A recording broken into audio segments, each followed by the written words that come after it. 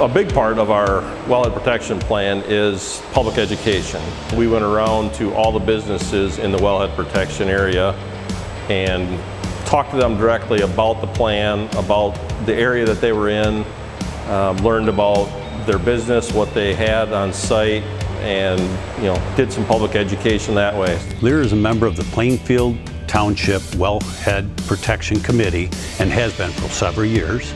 Lear is a global technology leader in automotive seating and e-systems. Lear is aware of how important the wellhead protection program is in protecting the Plainfield Township water supply currently and in the future. So they have really gotten educated about how groundwater gets contaminated and they're very very careful with their environmental programs to make sure that, that they do not impact the environment or the groundwater in any way. There promotes environmentally sustainable directives to remove or minimize effects of our processes that affect our resources.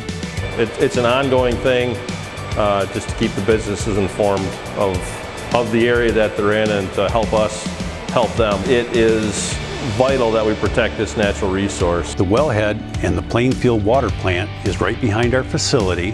That makes us very aware of the possibilities that could create environmental issues if we don't protect what we have. I work for Prein Newhof, which is an engineering consulting company, and we work for Plainfield Charter Township on much of their infrastructure, including their water supply system. So the protection program is identifying the area where the water supply comes from and then uh, seeking out ways to protect that water source. It's, it's not something that's unlimited. By working together, we can protect the resource that we have. We maintain uh, integrated control plan, which includes our spills, uh, stormwater. We also have uh, stormwater inspections from Michigan EGLE.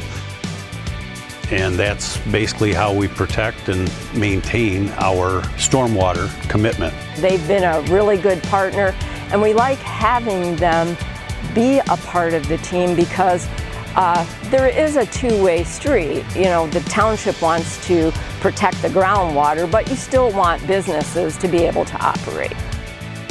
If you'd like to know any more about Lear, look up lear.com. If you want to learn more, go to our website. You can sign up for a water plant tour and learn more about protecting our watershed.